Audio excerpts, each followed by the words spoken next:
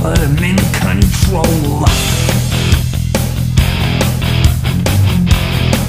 Watch him become a god. Watch people's heads a.